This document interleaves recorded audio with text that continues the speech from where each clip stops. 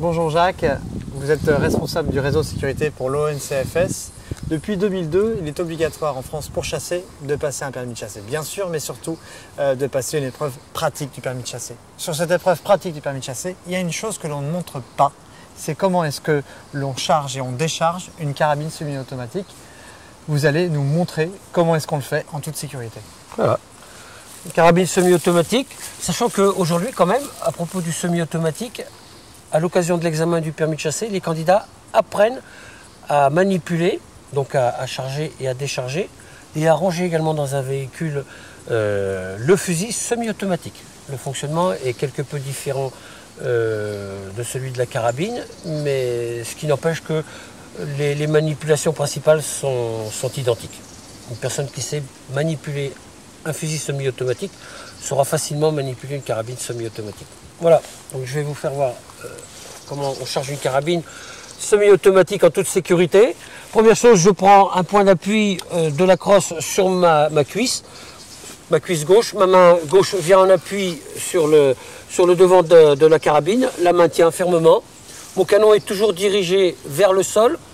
Et avant toute manipulation de cette arme et surtout de chargement, je prends en compte mon environnement. C'est-à-dire que ma zone de manipulation doit permettre de, manipuler cette arme en toute sécurité. Ça veut dire qu'avant de charger, il faut regarder exactement ce qui se passe autour de soi. Et bien évidemment, je vais vérifier d'abord, avant de la charger, si cette arme a bien été désapprovisionnée et, bien évidemment déchargée, qu'il n'y ait pas de, de corps étranger, aussi bien dans le magasin, le chargeur, que dans la chambre.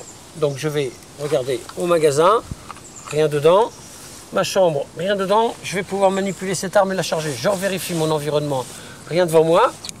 Première chose, première chose, je prends mes cartouches, je les rentre dans le magasin. Une,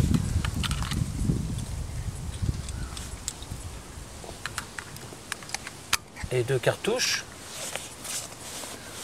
Je regarde devant moi, je referme mon magasin. C'est une arme semi-automatique, hein. Elle ne doit pas contenir plus de trois cartouches. Et dans un magasin d'une arme semi-automatique, comme dans un fusil, je ne peux pas mettre plus de deux cartouches dans le magasin. C'est-à-dire que les chargeurs sont uniquement pour deux cartouches? Non, c'est pas ça. Tout à fait, si, c'est ça. Deux cartouches. Si on en met trois, c'est que votre arme n'est pas conforme pour euh, aller à la chasse. D'accord. J'ai deux cartouches dans mon magasin. Je vais manipuler pour faire en sorte que la culasse charge la première cartouche la chambre. Donc là, votre arme est chargée Mon arme est chambrée, pas de problème. Elle est chargée. Le percuteur est en face euh, de la cartouche. C'est une arme à trois coups, ça serait dommage de ne pas mettre la troisième cartouche. Donc là, vous allez mettre votre troisième balle. Je vais mettre la troisième cartouche dans le magasin. Mais ça veut dire que pendant cette étape-là, est-ce que le coup peut partir? Il peut partir si j'appuie sur, sur la queue de détente, bien évidemment. Donc vous remarquerez que mes, mes, doigts ne vont jamais dans la cavité de la queue de détente et dans l'environnement du ponté. Voilà, mon arme est chargée je peux éventuellement tirer les animaux qui passeront pas très loin de mon poste. Est-ce qu'il euh, faut mettre la, sécurité pendant toute cette manipulation? Ah, Je ne mettrai pas la sécurité sur cette arme. Ça s'appelle une sûreté, généralement sur, euh, sur les armes. Ça ne garantit en rien euh, un départ de coup intempestif en cas de choc. Donc on ne parle pas de sécurité, mais on parle bien de, sécurité. de sûreté. La battue vient de se terminer, on n'a pas vu beaucoup d'animaux. Néanmoins, Jacques va vous montrer justement comment est-ce qu'on doit décharger en toute sécurité cette carabine semi-automatique. Alors je vais décharger mon arme. Toujours dans ma zone de manipulation, je vérifie qu'il n'y a pas d'obstacle à la manipulation de cette arme. Mon canon est toujours bien positionné vers le ciel. Mon appui sur l'avant de ma cuisse gauche. Je suis droitier, je vais me servir de ma main droite. Et bien tout simplement, après ces vérifications-là, je vais décharger mon arme consécutivement des trois cartouches qu'elle contient.